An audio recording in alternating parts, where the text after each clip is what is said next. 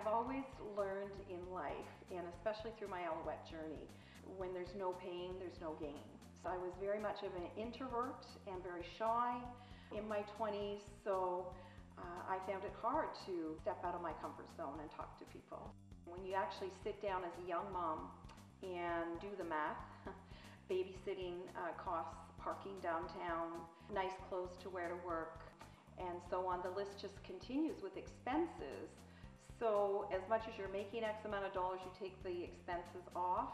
I was making $100 a week and running a rat race. Working at the Ministry of Health and going back full time with the two babies was, was very difficult and trying to have that balance and, and so on.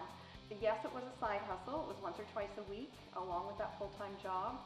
And then I was able to you know, have the same income I was making after 18 months.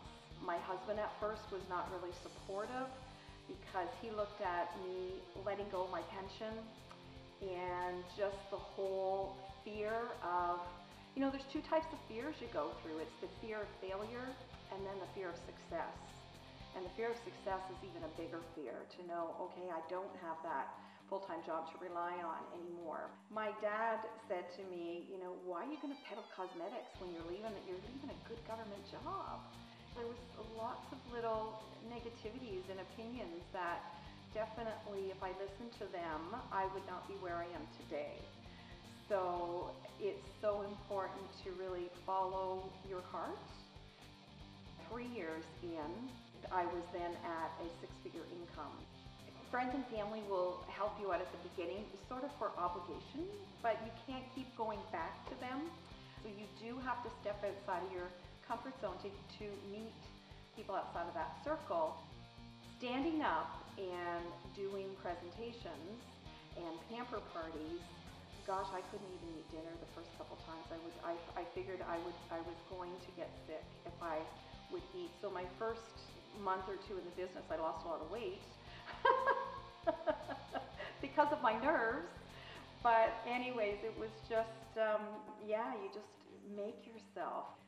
We have been very fortunate over the years that our company does give lots of recognition and trips and so on. And, you know, as a young mom at 26, we went nowhere. I mean, we went camping. That was our holiday.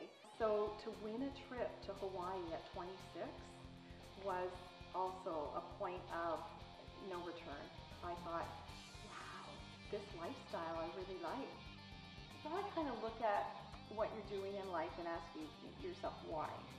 What is your why and what drives you to do it after all these years still? This is my why.